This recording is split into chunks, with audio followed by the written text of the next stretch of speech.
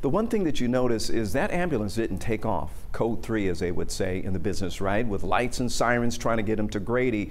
So there was no actual threat of life there. But what we did see, and this is to the left part of the screen, that officer has walked away, he had his shirt off, right? And it, it appears that one of the officers had an injury to his right, the right portion of his chest. You can see a little bit of blood there.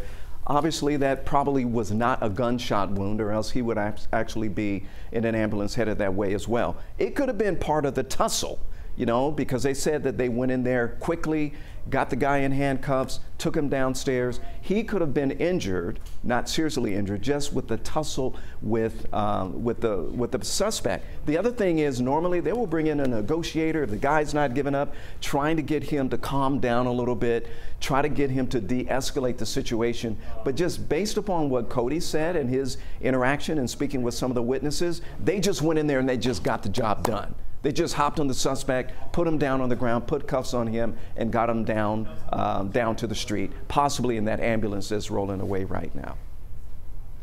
All right, Ron Jones, thank you so much for that perspective. Again, you are seeing uh, that ambulance is now gone that was there. Um, but again, this is a live picture right now where we see some of the law enforcement, and we're so grateful, Faith, for all of the law enforcement who were there today. As you said, uh, they prepare for situations like this.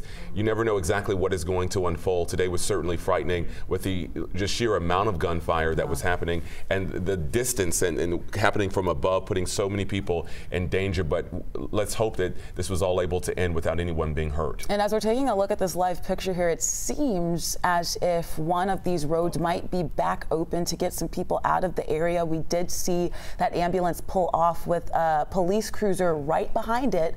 Um, so that might give us, you know, some tea leaves into what be, might be going on here. However, we will get, we don't want to assume anything. We want to get the confirmation from officers. We also see some members, I believe, of SWAT or APD with their long guns here. Um, you can see the uh, microphone there. Uh, presumably, it could have been what they were using to try to negotiate with this suspected gunman.